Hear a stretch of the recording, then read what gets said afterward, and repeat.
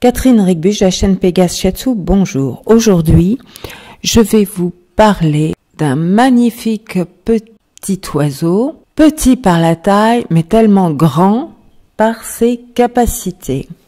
J'invite d'ailleurs à ceux qui ne l'ont pas encore vu de voir la vidéo que j'avais faite sur la paruline striée, qui est aussi un oiseau de très petite taille et vous voyez que c'est les oiseaux de plus petite taille, 13 ou 20 grammes, qui nous impressionnent le plus. La paruline striée pour le continent américain et la fauvette à tête noire pour le continent européen. Et pourquoi je vous parle de ça? Parce que j'ai été euh, estomaquée par ce petit oiseau quand j'ai vu une émission d'Arte, la migration de la série La migration secrète, épisode La fauvette à tête noire, et bon, euh, là, je pense finir euh, cette vidéo le lundi 7 octobre au soir en 2019 et le 8 octobre, donc demain soir, normalement, il y a une rediffusion sur Arte.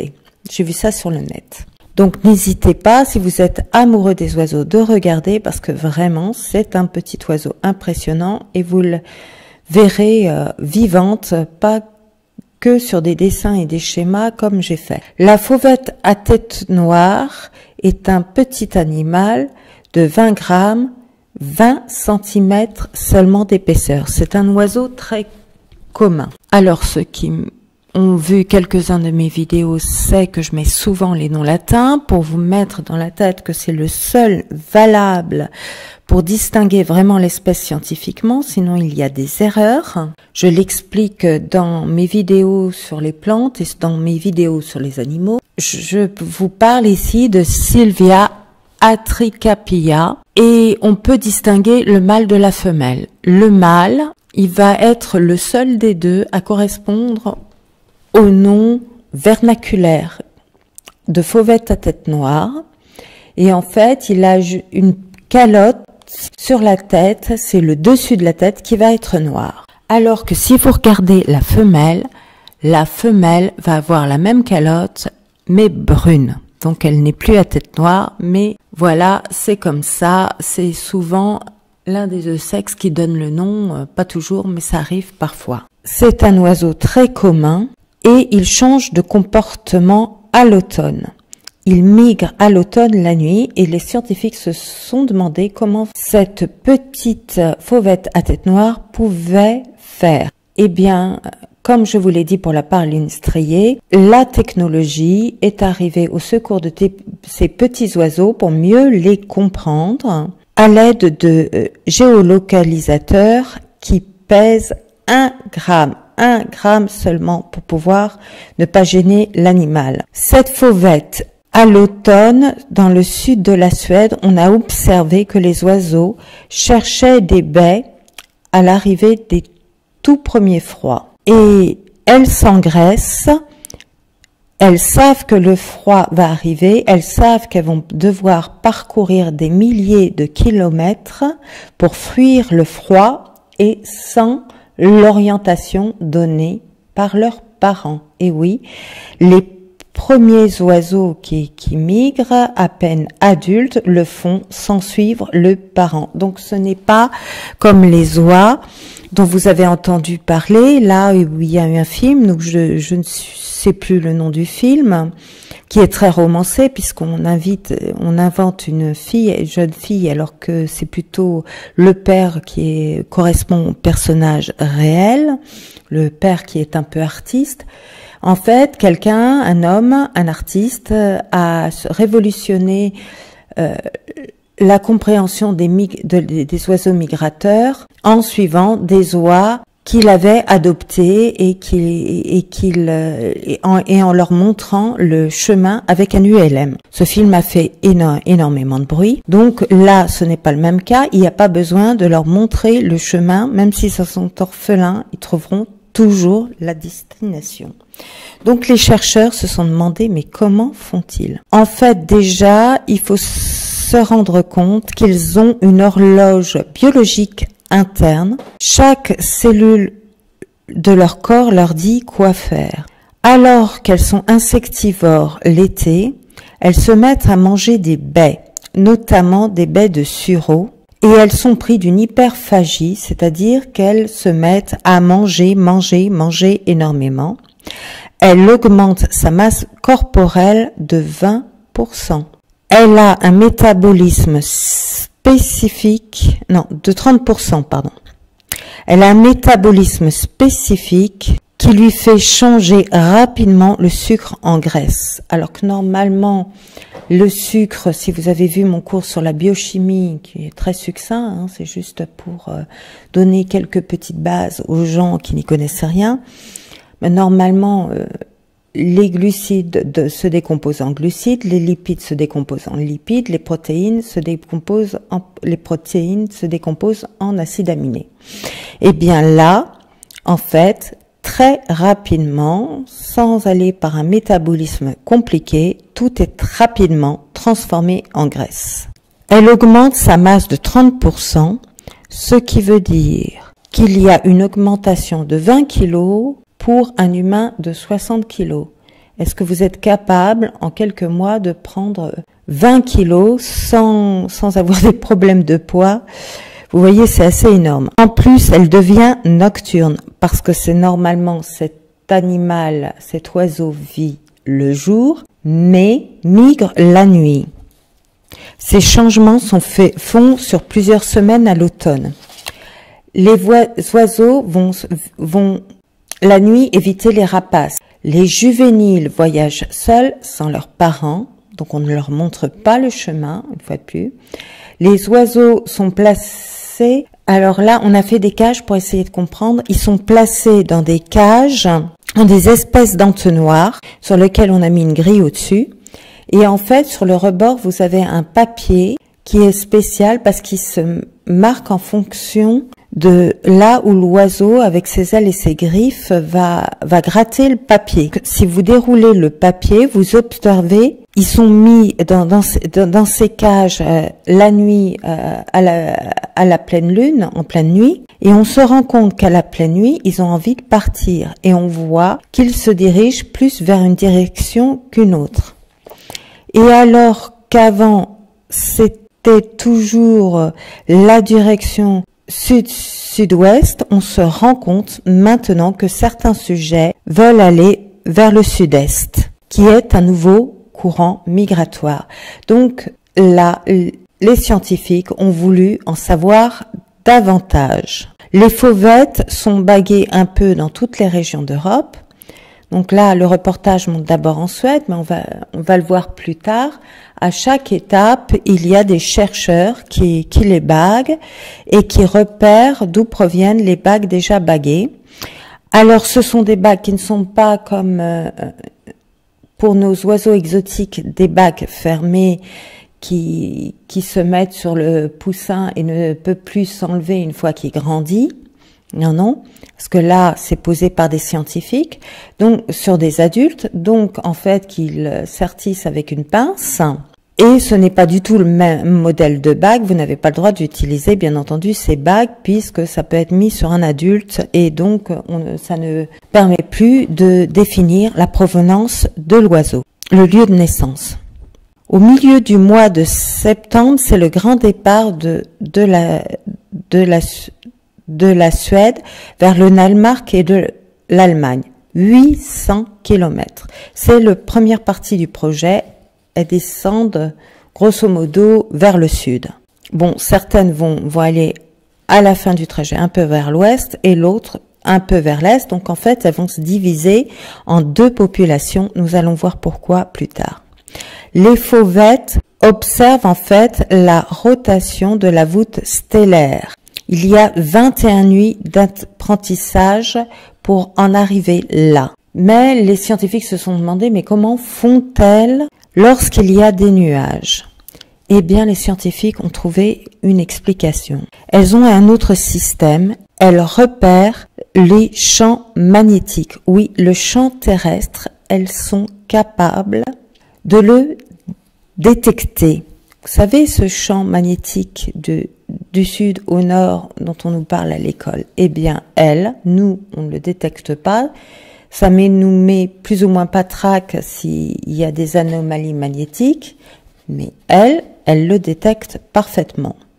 Certainement de façon inconsciemment, inconsciente, mais elles le détectent et du coup, elles savent exactement où elles sont. Lignes des champs magnétiques font un angle avec la Terre. Et en fait, c'est cet angle qui est différent d'une latitude et d'une longitude à l'autre qui fait que la fauvette sait parfaitement où elle est. Ce rayon est de 74 en Suède et après 350 km plus au sud, 65 degrés.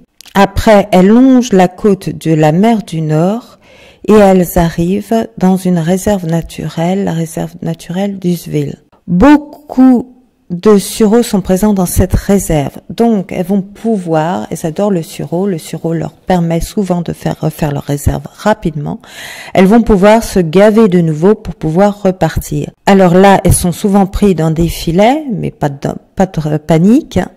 C'est en fait par des scientifiques qui lisent les bacs et posent des bacs d'identification à celles qui n'en ont pas, les pèsent, mesurent leurs envergures, et du coup disent si ça c'est un, animal qui vient d'arriver ou un animal qui est resté un moment là et s'est regavé et est sur le point de partir. Les animaux qui sont arrivés dans la réserve ont brûlé toutes les réserves.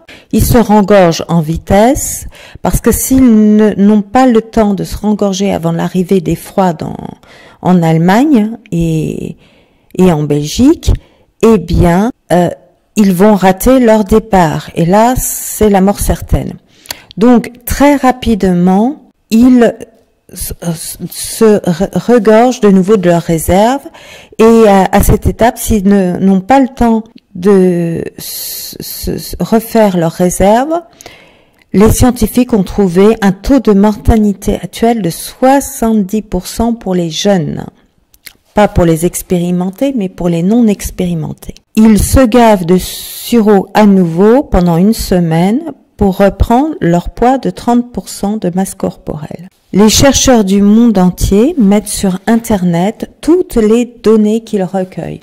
Donc du coup, vous avez, que ce soit en Angleterre, en France, en, Espagne, dans le Maghreb, en Allemagne, en Autriche, en, en Suède, au Danemark, tout le monde peut, tous ces chercheurs peuvent contrôler les données et les remettre à jour.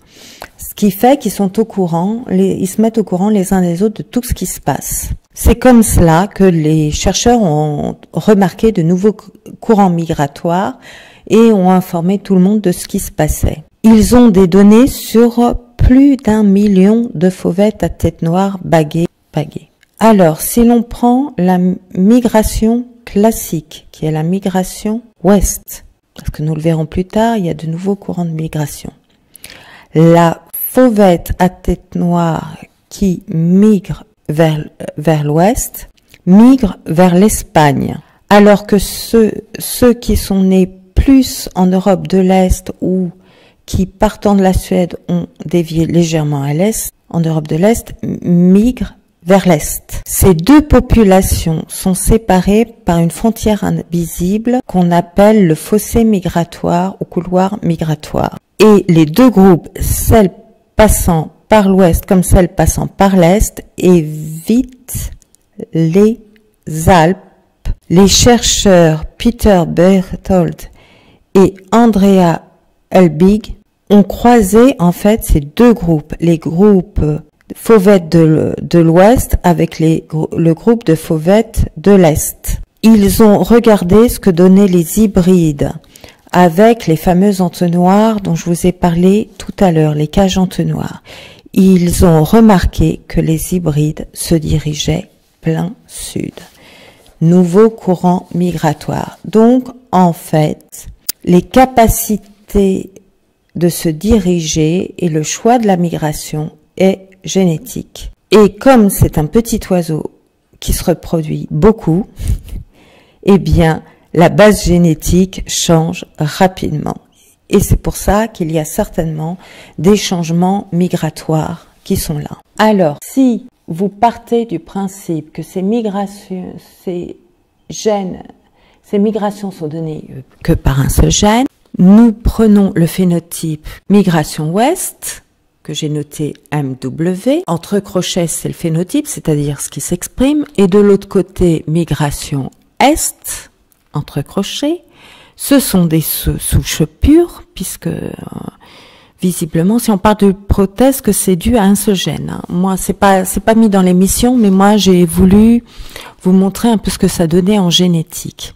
Donc, euh, c'est comme si vous aviez, euh, pour simplifier, une fleur rouge et une fleur rose et une fleur blanche. Et si vous les croisez, les belles de nuit rouges avec des belles de nuit blanches, vous obtenez ce qu'on appelle des belles de nuit roses, c'est ce qu'on appelle une codominance. Donc, entre la, le, la migration ouest et la migration est, il y a une direction plein sud, c'est un gène codominant. Il a pris d'un de ses parents le nouvel individu migration sud, le gène migration ouest et de son autre parent, le gène migration est. Donc, vous avez 100% d'hybride. À chaque fois que vous avez 100% d'hybride, il y a de fortes chances que ce soit du monohybridisme. Bon, c'est pas sûr à 100%, mais il y a de fortes chances. Et donc, si vous recroisez ces hybrides entre eux, migration sud comme fois migration sud, ils ont tous les deux un gène migration est sur migration ouest. Vous allez obtenir, je ne vous refais pas les cours de génétique, ceux que ça intéresse, je les invite à voir mes cours de génétique sur la calopsite s'ils veulent mieux comprendre. Vous avez un quart de migration est, 50% de migration sud et 25% de migration ouest. Donc en fait, ces hybrides ne vont pas donner que des migrations sud et vont repeupler des migrations est et des migrations ouest. Donc, d'où l'intérêt de pouvoir migrer sans ses parents parce qu'en fait, quand il y a des hybrides qui redonnent des types parentaux en génétique, eh bien, les enfants ne migrent pas avec les parents, ils se débrouillent tout seuls. Donc, il faut savoir se débrouiller tout seul. Donc, vous voyez pourquoi ils disent que ces fauvettes, si vous regardez un peu ce qui se passe en génétique, vous dites oui, ils ont raison. Moi, je ne sais pas comment ils ont expliqué ça, mais simplement en regardant la génétique, les scientifiques ont raison. Ces fauvettes migrent forcément dans leurs parents euh, puisqu'il y a une donnée génétique et que les parents ne sont pas forcément des souches pures et pourtant les enfants migrent quand même. Ça, on peut le prouver par les bagues en suivant euh, qui euh, vient d'où et c'est comme ça qu'on le sait. Et donc, ces migrations sud, c'est le parcours le plus dangereux parce que les oiseaux vont passer à travers les Alpes au lieu de les éviter et passer là où la mer Méditerranée est la plus large. Et donc les scientifiques se sont dit, mais est-ce qu'ils y arrivent? Et qu'est-ce qui leur a donné la réponse? Ben évidemment, les géolocalisateurs, ces fameux géolocalisateurs. Et donc, si vous aimez cette histoire, je vous engage vraiment à regarder ma vidéo sur la paroline striée, parce que la paroline striée, a un autre exploit à faire, tout aussi impressionnant, je vous assure. Pas du même ordre, on ne sait pas comment elle se repère, mais c'est assez, assez impressionnant aussi. Pour un, je crois que, si je me souviens bien, qu'elle ne fait que 13 grammes, la, la paruline striée. Alors, le géolocalisateur ne renvoie pas aux scientifiques les données. Ils sont obligés de les récupérer. En fait, ils enregistrent la durée du jour et la position du soleil et donc ça permet de relocaliser tout le trajet de l'oiseau qui portait ce géolocalisateur. La première année, ils ont posé 200 géolocalisateurs. La deuxième année, ils en ont posé 150. Et après, il faut les récupérer, bien évidemment, ce qui demande beaucoup de main-d'œuvre. En Autriche, vous avez les deux populations de fauvettes. les fauvettes qui migrent vers l'ouest et les fauvettes qui migrent vers l'est, avec maintenant, puisqu'on a fait des hybrides, la troisième population, hein, les, hybrides ne sont pas faits dans la nature puisqu'ils restent séparés les uns des autres par le couloir, ce fameux couloir migratoire, fossé migratoire. Mais euh, euh, voilà, on, au départ, maintenant il y a les trois, trois, il y a les pures souches ouest, pures souches est et les pures souches migration plein sud. Mais au départ, il n'y avait que deux populations. Alors, quand elles migrent vers l'ouest, on regarde ce qui se passe un peu quand elles migrent vers l'ouest. Elles, euh, elles viennent d'Autriche, d'Allemagne, elles vont vers la vallée du Rhône, où elles sont rejointes par les fauvettes qui, en fait, ont vécu tout l'été en France. Et tout ce petit monde se rejoint dans la vallée du Rhône. Dans la vallée du Rhône, ils se nourrissent de raisins et de pommes, qui donnent des sucres qui permettent de nouveau de former des graisses. Parce qu'il faut franchir les Pyrénées. Donc on refait un plein au niveau de la vallée du Rhône. Ensuite, elles atteignent l'Espagne, en Andalousie. Elles atteignent l'Espagne dans un parc national, vraiment au sud, je vous ai mis le nom sur la carte, vraiment au sud de l'Espagne. Et le plus étonnant, c'est que euh, la fauvette vient à cet endroit puiser des réserves, elle les transforme de nouveau les sucres en réserve de graisse, mille fois plus vite que les autres vertébrés. Donc, voyez, mille fois plus vite, ça veut dire que vraiment la vitesse est importante. Ce métabolisme est très performant par rapport à un être humain elle va mille fois plus vite, à être transformée en graisse. Alors que nous, ça va prendre trois plombes parce qu'en fait, c'est par des chemins métaboliques dérivés, c'est pas un, un métabolisme direct, c'est quelque chose d'indirect qui va, il va y avoir plein de réactions chimiques, plein de chemins qui vont conduire à cette transformation en graisse. Bah, chez elle, c'est direct parce qu'elle est spécialisée dans la formation de graisse pour mieux émigré. Mais ils se sont rendus compte qu'il y avait des fauvettes à tête noire espagnoles qui ne migraient pas. Et c'est là où ça devient intéressant, parce qu'en fait, les chercheurs qui sont sur place sont capables à l'œil nu de carrément dire, ils font quand même des mesures, mais à l'œil nu, ils sont tellement habitués qu'au premier coup d'œil, ils vous disent si c'est une fauvette migrante ou une fauvette sédentaire. Les fauvettes migrantes ont des ailes longues, les fauvettes sédentaires ont des ailes courtes. Les fauvettes migrantes ont la queue courte, les fauvettes sédentaires ont la queue longue. Les fauvettes migrantes ont des pattes courtes, les fauvettes sédentaires ont des pattes longues. Les fauvettes migrantes ont un corps léger, les fauvettes sédentaires ont un corps massif. Les fauvettes migrantes ont un bec court, les fauvettes sédentaires ont un bec long. Pourquoi le bec rapetissent, les pattes raccourcissent, la queue raccourcisse, le corps euh, est moins dense. Chez la fauvette migrante, c'est pour faire de longues distances et être légère pour pouvoir les parcourir sans trop d'efforts. Alors que la sédentaire, bah oui, comme elle est sédentaire, elle n'en a pas besoin, donc ça c'est pas très important.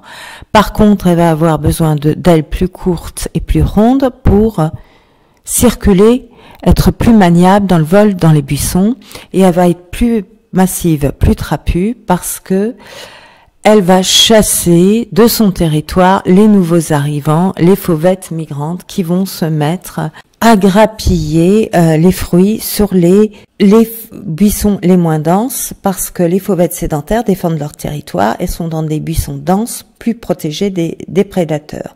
C'est pour ça en fait. Alors, ils ont été étonnés parce que les géolocalisateurs ont, donné de drôles de résultats, notamment dans le sud de l'Angleterre, il, il gèle normalement l'hiver. C'est hostile. Cependant, certaines fauvettes à tête noire passent l'hiver en Grande-Bretagne. Elles viennent de France, d'Allemagne et d'Italie. Et ce changement s'est opéré en 50 ans de 77 plus 77% de fauvettes à tête noire en plus l'hiver en Grande-Bretagne. C'est parce que déjà, les Anglais nourrissent énormément les oiseaux. Ils adorent les oiseaux, donc ils n'adorent pas que les chevaux. Et ils adorent énormément les oiseaux. Il paraît qu'ils sont les champions européens du nourrissage euh, d'oiseaux sauvages. Et il y a un réchauffement climatique des îles britanniques par rapport au continent. 36 géolocalisateurs ont montré qu'elles passaient leur été en France. Ces 36 géolocalisateurs montrent qu'elles migraient vers le nord-ouest, en Grande-Bretagne. Et oui, c'est surprenant. Mais comme on sait, c'est dû à un réchauffement climatique et davantage de nourriture grâce à nos amis anglais. Merci les Anglais. Au printemps, elles se nourrissent de, de nectar au nord, puis d'insectes pendant la période de reproduction pour une croissance rapide des oisillons. Donc, une fois qu'elles sont rentrées à leur euh, zone où passer l'été, après un retour, eh bien, en fait, on voit deux changements. D'abord du nectar pour elles-mêmes, pour se réengorger. On sait qu'elles savent très bien transformer les sucres en graisse. Mais ça passe des fruits au nectar, premier changement alimentaire. Et après, en, dans la reproduction, elle se nourrit énormément d'insectes. Et ce n'est pas le seul oiseau qui fait ça. Euh, j'ai fait une vidéo sur le quetzal où j'explique d'abord les différentes espèces de quetzal et ensuite tout le symbolisme qui tourne autour de, du quetzal. Et en fait, plusieurs espèces de quetzal ont ce passage où il faut que l'oisillon nourrisse vite et passe d'un régime effectivement végétarien à un régime carnivore avec des insectes. Donc euh, ce n'est pas le seul oiseau qui fait ça. Visiblement, beaucoup d'oiseaux le font. Tous les oiseaux ne le font pas. C'est pour ça que, ben oui, sur les sites d'ornithologie, ils vous spécifient bien Faites attention, nourrissez votre oiseau avec des graines adaptées. En cas de doute, oui, il vaut mieux respecter et vraiment nourrir votre oiseau avec une marque qui vend euh, pour des, proportions spécifiques à cet oiseau et euh, n'en dévier qu'une fois que vous connaissez parfaitement le régime alimentaire de votre oiseau. C'est donc un oiseau mais incroyablement robuste et adaptable et c'est un des rares oiseaux migrateurs dont la population augmente. Alors il faut pas que ça fasse peur, voilà, même si euh, Yoda se dit, bon, pourvu qu'elle ne devienne pas Dark Birdie, pourquoi Dark Birdie? Bah, Pourvu que, comme Anakin qui est devenu Dark Vador, elle ne devienne pas Dark Birdie. Et pourquoi? Ben, Je vais vous parler de la perruche à collier. La perruche à collier est la seule, le seul oiseau exotique qui est importé à des fins d'oiseaux de compagnie, peut, quand il s'échappe accidentellement, vivre sur nos latitudes. Hein. Les autres euh, becs crochus exotiques n'arrivent pas à faire ça.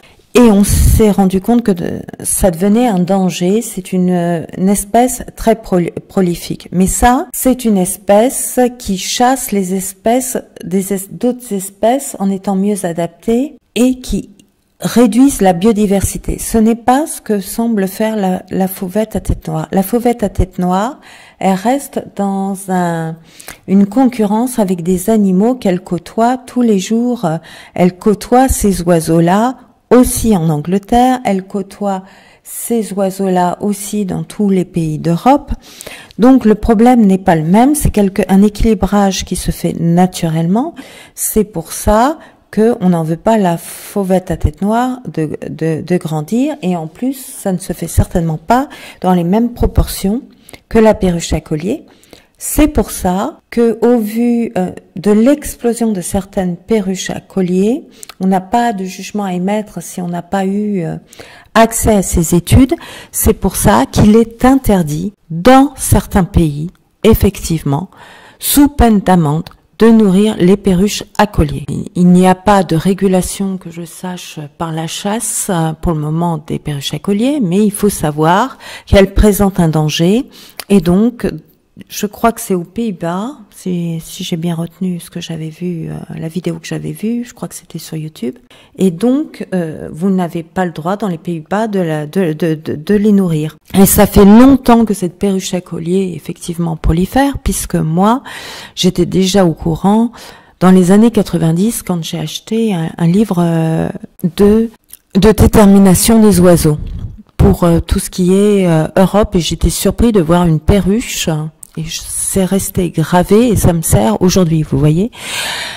Euh, pour pour dire voilà ce n'est pas ce n'est pas quelque chose que les ornithologues euh, aiment. Je ne parle pas des propriétaires d'oiseaux. Certains propriétaires d'oiseaux s'apitoient un peu sur euh, cette perruche à collier.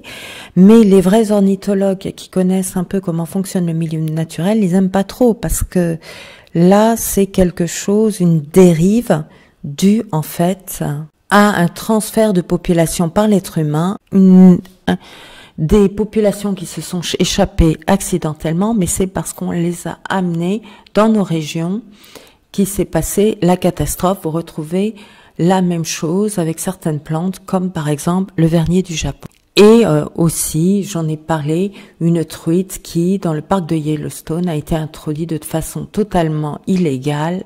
La, truite, euh, tout l'a dit, qui a été introduite de façon totalement illégale et si vous êtes amoureux des oiseaux, sachez que indirectement, ça touchait en fait les populations de gypaète à tête blanche. Vous savez, le fameux aigle qu'on voit euh, représenté, en fait, c'est pas un aigle, c'est un gypaète à tête blanche. Et le balbuzard pêcheur était menacé euh, indirectement. Bon, euh, C'était pas le plus direct, mais indirectement, ça, a touché tout l'écosystème du du parc Yellowstone, toutes les populations, mais dont ces deux oiseaux. Si vous voulez savoir pourquoi, je vous renvoie à ma vidéo sur euh, la guerre des nageoires. Donc, qu'est-ce qu'il y a à retenir sur cette histoire?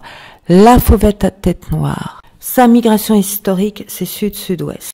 Les migrations qui sont apparues naturellement, c'est sud-est, sud-est et nord-est, nord-ouest, nord-ouest.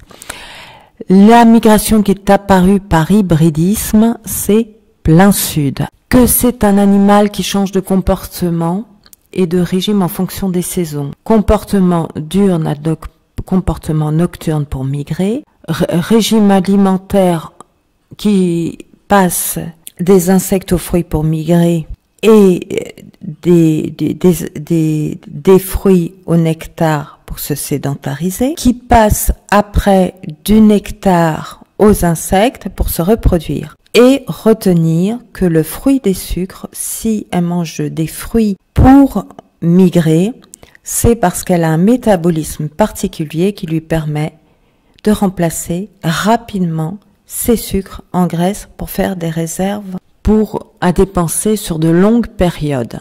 Alors que le sucre est vite, euh, est vite dissipé, la graisses, ça va être plus long. La modification physique en fonction du mode sédentaire ou migratoire. Alors pour mémoire, juste après cette vidéo, à la fin, je vous remets la source au cas où vous voudriez la voir et je vous y invite.